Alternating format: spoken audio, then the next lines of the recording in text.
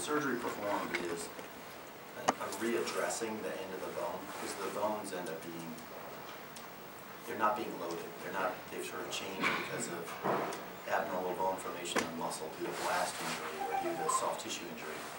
That all has to be cleaned up. Once that's cleaned up, we need enough of a skin envelope to cover the implant. So the implant isn't exposed at this stage. The implant's underneath the skin. So for all intents and purposes, it looks just like someone with a below-knee, with an amputation would otherwise. So we, this surgery is about having a skin flap that closes easily over the implant. Not too much, not too little, just the right amount. Everything closed. No wound complication now for the next six weeks to to eight weeks.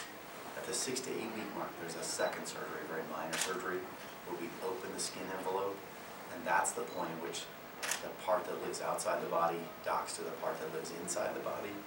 We wait this time so that the bone ingrows to the implant we put in. It's much like a dental implant or like a total hip. We put an implant, the bone grows into it. Once we have that living interface between the implant and the bone, that's what potentially is the barrier to infection going deep.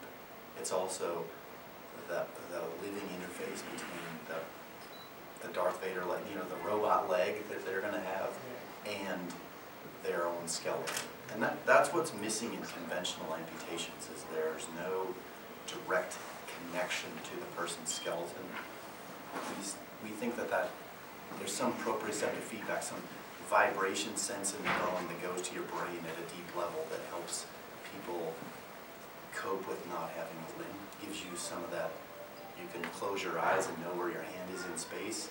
When you have a socket, it's like having a really, imagine, most people ski around here, imagine having a really loose ski boot and then trying to go ski, right? So it's hard to get the boot tight enough on the residual limb so that you can have this sort of high level function. So what we're trying to do is really make the boot intimate to your body. So that's, that's, the- that, that is the goal.